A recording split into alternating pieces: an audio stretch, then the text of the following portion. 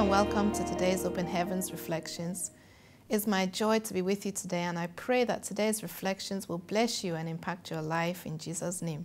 My name is Andrea Onduku, and I co pastor Chapel of Grace, a parish of the Redeemed Christian Church of God in Bradford, West Yorkshire, with my husband, Dr. Akpo Onduku.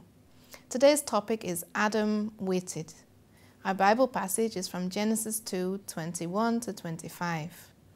And the Lord God caused a deep sleep to fall on Adam, and he slept, and he took one of his ribs and closed up the flesh in its place.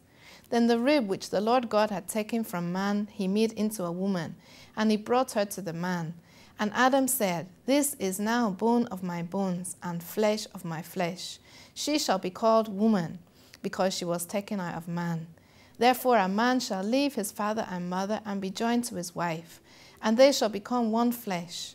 And they were both naked, the man and his wife, and were not ashamed. Our memory verse is from the same passage, Genesis 2, chapter 20, verse 21. And the Lord God caused a deep sleep to fall on Adam. And he slept, and he took one of his ribs and closed up the flesh in its place. We thank the Lord always for the life of our pastor, E.A. Adeboye, for being a great blessing to us from the Lord. Today we are focusing on the issue of marriage. And this telecast will be very useful to those who are still waiting on the Lord for their life partners. The language we are using today is waiting. If you are still single, can I ask you whether, in all honesty, you are really waiting? Waiting does not mean jumping from one person to another under the guise that you are dating. That will usher confusion into your life, and you will not be able to hear from the Lord. From the Bible passage that we read today, when it was time for Adam to have his companion, the Bible says that he was put through a deep sleep, and it was in that process that Eve was formed. If you trust the Lord for a life partner, you need that deep sleep of waiting on the Lord. In fact, the verse 23 of Genesis 2 in the New Living Translation says something that is great. In that translation, when God brought Eve to Adam, he said, At last, this is the bone of my bone and the flesh of my flesh. The fact that he said at last showed that he waited. And you too will have your own at last moment in Jesus' name. Many of our singles today cannot wait though. Agreed, we live in a world where everything has become fast, but you have to learn to wait upon the Lord. You can't afford to pray for five minutes and expect that on the sixth minute God has given you the bone of your bone and the flesh of your flesh. You have to wait and go through the long, deep sleep. You have to allow the Lord to prepare and work on the other party while He is also working on you so that you can have a perfect home.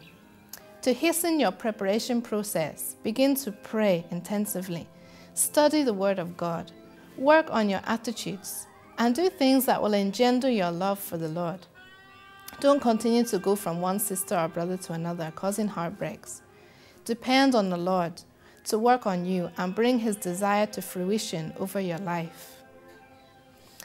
The key point for today is that the extent to which you are ready to wait will determine the size of the blessing God will be prepared to release to you.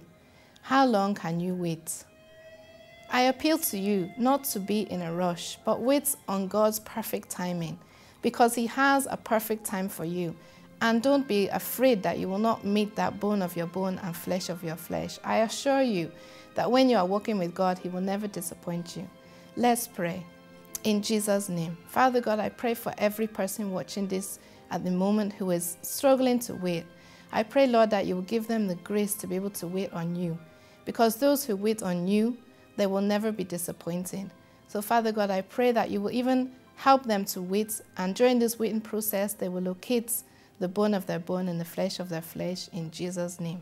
Thank you, Heavenly Father. Hallelujah.